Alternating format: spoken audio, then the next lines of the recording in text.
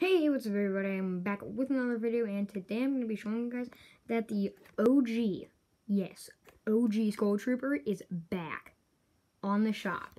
I didn't even believe it when I saw that OG Skull was out on the shop and the item shop refreshes in three hours, but I couldn't believe my eyes when I saw that OG Skull was back.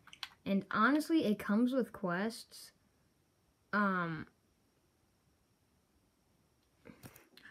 to earn the Ghost Portal back bling. I might buy this, honestly, guys, because it has...